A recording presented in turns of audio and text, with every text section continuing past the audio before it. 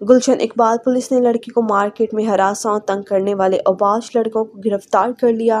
Police के मुताबिक 16 साल लड़की घरेलू मुलाजमा मार्केट सामान लेने गई तो अबाश लड़कों ने हरासा और तंग किया। लड़के मोटरसाइकिल पर बैठने के लिए मजबूर करते रहे, मना करने पर लड़की को हरासा किया और बाल खींचे। S B Iqbal town doctor Amara Shirazi ने फौरी मुलजमान की गिरफ्तारी की हिदायत की थी। लड़की के भाई की मदियत में मुकदमा दर्ज करके मुलजमान जावेद और कदीर को चंद घंटों में गिरफ़्तार कर लिया गया।